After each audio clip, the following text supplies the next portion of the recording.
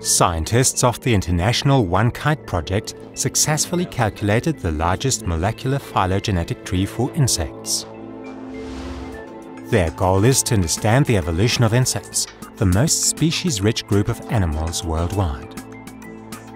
Distangling their evolution is essential for understanding how other forms of life evolved in terrestrial and lake environments.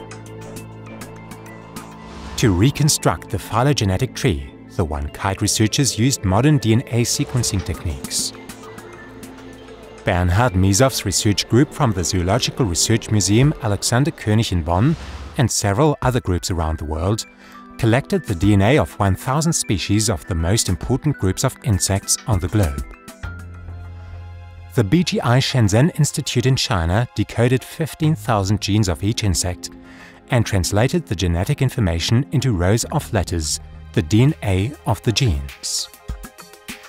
Using the SuperMUC supercomputing system in Munich, the researchers compared the genetic information of the species to determine the degree of genetic relations.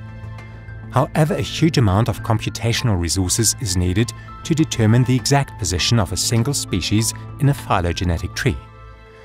For a tree with only 18 species, there already exist more than 190 quadrillion possibilities of how they could have evolved.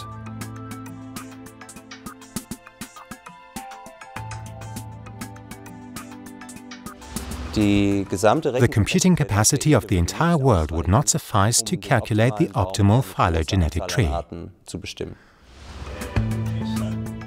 Alexandros Stamatakis and his research group at the Heidelberg Institute of Theoretical Studies investigated solutions to be able to process such huge amounts of data.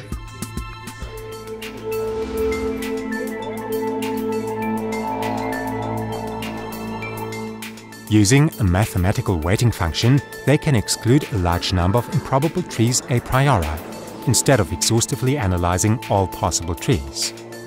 Only promising trees were optimized until a relatively likely phylogeny was found.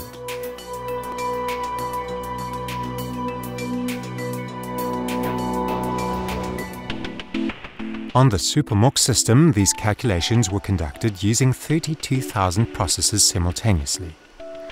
Thereby, the researchers managed to drastically reduce the time to obtain the results.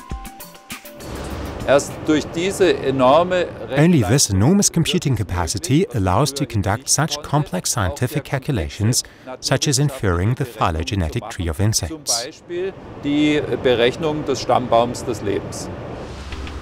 The results of the one-kite calculations are of substantial scientific importance. We really hope to contribute to the history of the field with the one-kite datasets because we were able to reconstruct a robust phylogenetic tree of insects. The enormous diversity of insects can possibly be attributed to only three or four major groups. We didn't expect that at all before one kite.